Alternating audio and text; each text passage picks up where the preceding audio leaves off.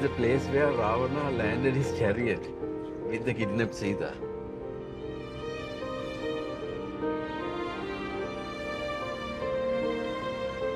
ಸ್ನೇಹಿತರೆ, ನಮಸ್ಕಾರ ಶ್ರೀಲಂಕಾದ ಸಿನಿಮಾ ನಿರ್ದೇಶಕರಲ್ಲಿ ಒಬ್ಬರಾದ ಪ್ರಸನ್ನ ವಿತನಗೆ ಅವರ ಪ್ಯಾರಡೈಸ್ ಈ ಸಲದ ಬೆಂಗಳೂರು ಅಂತಾರಾಷ್ಟ್ರೀಯ ಫಿಲಂ ಫೆಸ್ಟಿವಲ್ನಲ್ಲಿ ಅಂದರೆ ಬಿಫೆಸ್ನಲ್ಲಿ ಪ್ರದರ್ಶನವಾಗ್ತಾ ಇದೆ. ಪ್ರೇಕ್ಷಕರ ಮೆಚ್ಚುಗೆಗೂ ಪಾತ್ರವಾಗಿರುವ ಪ್ಯಾರಡೈಸ್ ಸಮಕಾಲೀನ ರಾಜಕೀಯ ಬಿಕ್ಕಟ್ಟುಗಳನ್ನು ಯಾವುದೇ ಪೊಲಿಟಿಕಲ್ ಸ್ಟೇಟ್ಮೆಂಟ್ ಇಲ್ಲದೆ ಆದ್ರವಾಗಿ ಬಿಚ್ಚಿಡುವಂತಹ ಕಥನ.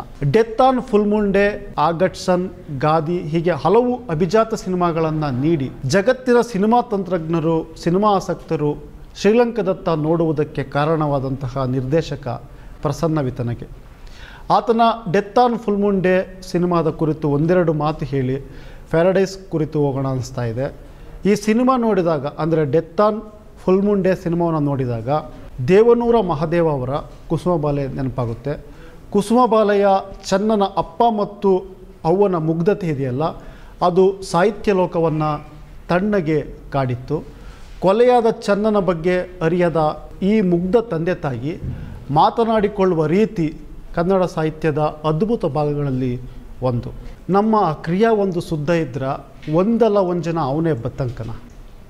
ಶಾಸ್ತ್ರ ಹೇಳೋನ ರೂಪದಲ್ಲಿ ಬರ್ಬೋದು, ದಾಸಯ್ಯನ ರೂಪದಲ್ಲಿ ಬರ್ಬೋದು, ಮಾಟ ಮಂತ್ರದನ ರೂಪದಲ್ಲಿ ಬರ್ಬೋದು. ಯಾವ ರೂಪದಲ್ಲಾದರೂ ಆಗ್ಲಿಕ್ಕನ ಯಾವತ್ತಾರು ಒಂಜಿನಾದರೂ ಬಂದನ.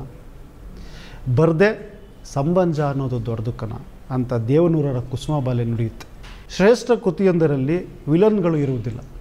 ನಮ್ಮ ಸುತ್ತಲಿನ ರಾಜಕೀಯ, ಸಾಮಾಜಿಕ, ಆರ್ಥಿಕ ಪರಿಸ್ಥಿತಿಗಳೊಳಗೆ ಪಾತ್ರಗಳು ಕೇವಲ ನಿಮಿತ್ತ. ಡೆತ್ ಆನ್ ಫುಲ್ ಮೂನ್ ಡೇನಲ್ಲಿ ಮುಗ್ಧ ಬಡಪಾಯಿ ಹಾಗೂ ಕುರುಡನಾಗಿರುವ ತಂದೆಗೆ ತನ್ನ ಮಗ ಬದುಕಿದ್ದಾನೆಂಬ ಅಚ್ಚಲ ನಂಬಿಕೆ. ಆತ ಯುದ್ಧದಲ್ಲಿ ಮಡಿದಿದ್ದಾನೆಯೇ ಎಂಬುದು ಕೂಡ ನಿಗೂಢ ಆತನ ಹೆಣವನ್ನು ತೋರಿಸದೆ ಶವಪೆಟ್ಟಿಗೆಯನ್ನು ಮಿಲಿಟರಿಯವರು ತಂದು ಹೂಳುತ್ತಾರೆ.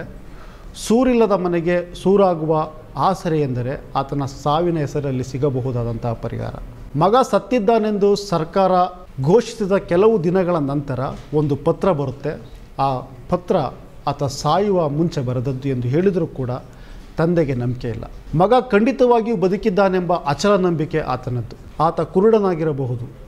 ಆದರೆ ಯಾವುದನ್ನು ಗ್ರಹಿಸುವ ಒಳಗಣ್ಣು ಆತನೊಳಗೆ ಜಾಗೃತವಾಗಿತ್ತು. ಕಿತ್ತು ತಿನ್ನುವ ಬಡತನವಿದ್ದರೂ ಪರಿಹಾರದ ಪತ್ರಕ್ಕೆ ಸಹಿ ಹಾಕುವುದಿಲ್ಲ. ಕೊನೆಗೆ ಮಗನ ಸಮಾಧಿಯನ್ನು ಅಗೆದು ಶವಪೆಟ್ಟಿಗೆಯನ್ನು ತೆರೆಯುವ ಮೂಲಕ ಸಿನಿಮಾ ಕೊನೆಯಾಗುತ್ತೆ. ಮತ್ತೆ ದೇವನೂರರ ಸಾಲು ಸಂಬಂಧ ಅನ್ನೋದು ದೊಡ್ಡ ದುಃಖನ ಅನ್ನೋದು ಕಾಡುತ್ತೆ. ವಿತನೆಗೆಗೂ ದೇವನೂರಿಗೂ ಎತ್ತಣಿದೆತ್ತನ ಸಂಬಂಧ. ಪ್ರಭುತ್ವ ಸೃಷ್ಟಿಸುವ ಬಿಕ್ಕಟ್ಟುಗಳು ಸಾಮಾನ್ಯ ಜನರ ಬದುಕಿನ ಮೇಲೆ ಹೇಗೆ ಪರಿಣಾಮಗಳನ್ನು ಬೀರುತ್ತವೆ ಎಂಬುದನ್ನು ಯಾವುದೇ ರಾಜಕೀಯ ಹೇಳಿಕೆ ನೀಡದೆ ಸಿನಿಮಾವನ್ನು ವಾಚ್ಯವಾಗಿಸದೆ ಕತೆ ಹೇಳುವ ತಂತ್ರಗಾರಿಕೆ ವಿತನಗೆಯವರದ್ದು. ಕೇವಲ ನಿರೂಪಣೆಯನ್ನು ಮಾಡಿ. ಅದು ಡಾಕ್ಯುಮೆಂಟ್ರಿ ನಿರೂಪಣೆಯಲ್ಲ ದೃಶ್ಯ ಮಾಧ್ಯಮದ ಶಕ್ತಿಯು ಕೂಡ ಆಗಿರುತ್ತೆ. ಅದನ್ನು ಆ ರೀತಿಯ ನಿರೂಪಣೆಯನ್ನು ಮಾಡಿ ಪ್ರೇಕ್ಷಕರು ಉತ್ತರವನ್ನು ಕಂಡುಕೊಡಲು ಬಿಟ್ಟುಬಿಡ್ತಾರೆ ವಿತನಗೆ. ಪ್ಯಾರಡೈಸ್ ಕೂಡ ಆತನ ದೃಶ್ಯಕಲಾ ಮಾಂತ್ರಿಕತೆಗೆ ಹಿಡಿದ ಮತ್ತೊಂದು ಕನ್ನಡಿ. Death on full moon day ಸಾವಿರದ ಒಂಬೈನೂರ ತೊಂಬತ್ತೇಳರಲ್ಲಿ ಬಂದ ಸಿನಿಮಾ ಪ್ಯಾರಡೈಸ್ ಎರಡು ಸಾವಿರದ ಇಪ್ಪತ್ತ್ಮೂರರ ಸಿನಿಮಾ. ಇಷ್ಟಾದರೂ ಕೂಡ ವಿತನಗಿಯ ಜೋಳಿಗೆ ಮಾತ್ರ ಬರಿದಾಗಿಲ್ಲ.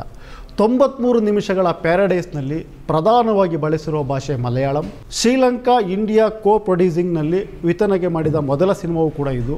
ಸಿಂಹಳ, ತಮಿಳು, ಇಂಗ್ಲೀಷ್, ಮಲಯಾಳಂ ಎಲ್ಲ ಭಾಷೆಯೂ ಕೂಡ ಸಂಭಾಷಣೆಯಲ್ಲಿ ಬಳಕೆಯಾಗಿದೆ. ಮಲಯಾಳಂನ ರೋಷನ್ ಮ್ಯಾಥ್ಯೂ, ದರ್ಶನ ರಾಜೇಂದ್ರನ್ ಪ್ರಮುಖ ಪಾತ್ರಗಳನ್ನು ನಿರ್ವಹಿಸಿ ಜೀವವನ್ನು ತುಂಬಿದ್ದಾರೆ ಆರ್ಥಿಕ ಬಿಕ್ಕಟ್ಟಿನ ಗಳಿಗೆಯಲ್ಲಿ ಶ್ರೀಲಂಕಾದ ಪ್ರವಾಸ ಕೈಗೊಳ್ಳುವಂತಹ ಕೇರಳದ ಗಂಡ ಹೆಂಡತಿ ಅವರ ಸುತ್ತ ಸೃಷ್ಟಿಯಾಗುವಂತಹ ಸನ್ನಿವೇಶಗಳ ಗುಚ್ಛ ಪ್ಯಾರಡೈಸ್. ಈ ಸಿನಿಮಾದ ಹೆಸರೇ ಒಂದು ರೀತಿಯ ವ್ಯಂಗ್ಯವನ್ನು ಸೂಚಿಸ್ತಾ ಇದೆ.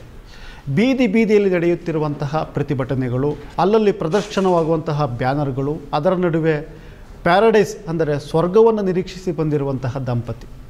ವಿದ್ಯುತ್ ಕಟ್ಟಾಗಿರುವಾಗ ಹಚ್ಚಿದ ಮೇಣವನ್ನು ಸೋ ರೊಮ್ಯಾಂಟಿಕ್ ಎಂದು ಖುಷಿಪಡುವ ರೀತಿ, ಐದನೇ ವರ್ಷದ ವಿವಾಹ ವಾರ್ಷಿಕೋತ್ಸವದ ಖುಷಿಯಲ್ಲಿರುವ ಈ ದಂಪತಿಯ ಸುತ್ತ ತೆರೆದುಕೊಳ್ಳುತ್ತಾ ಹೋಗುವ ಪದರಗಳು ನೋಡುಗರನ್ನು ಕಥನದ ಒಳಗೆ, ಕಥನದ ಸುಳಿಯೊಳಗೆ ಎಳೆದುಕೊಂಡು ಬಿಡುತ್ತವೆ ಇಲ್ಲಿ ನಿರ್ದೇಶಕ ವಿತನಗೆ ರಾಮಾಯಣಕ್ಕೆ ಸಂಬಂಧಿಸಿದ ಕಥೆಯನ್ನು ಹೇಳುತ್ತಿರುವುದಾದರೂ ಏತಕ್ಕೆ.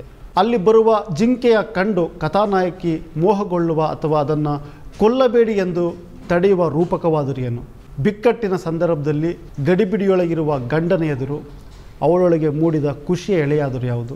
Cab driver plus tourist guide ಆಗಿರುವಂತಹ ವ್ಯಕ್ತಿ ಶ್ರೀಲಂಕಾದ ಪ್ರವಾಸಿ ತಾಣಗಳನ್ನು ತೋರಿಸ್ತಾ ರಾಮಾಯಣದ ಸನ್ನಿವೇಶಗಳನ್ನು ನಿರೂಪಿಸುತ್ತಿರುವುದಾದರೂ ಎತ್ತಕ್ಕೆ ಹೀಗೆ ಯಾವುದಕ್ಕೂ ಉತ್ತರ ನೀಡಿ ವಾಚ್ಯವಾಗಿಸುವುದಿಲ್ಲ ನಿಮ್ಮ ಆಲೋಚನೆಗೆ ಬಿಟ್ಟು ಹೊರಡುತ್ತಾರೆ ವಿತನಗೆ.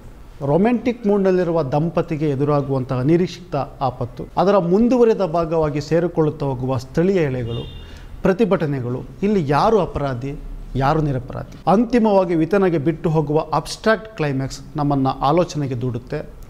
ಸೋಮವಾರ ಈ ಸಿನಿಮಾ ಮತ್ತೆ ಸ್ಕ್ರೀನಿಂಗ್ ಆಗ್ತಾ ಇದೆ. ಆಸಕ್ತರು ವಿಫೆಸ್ನಲ್ಲಿ ಈ ಸಿನಿಮಾವನ್ನು ನೋಡಬಹುದು.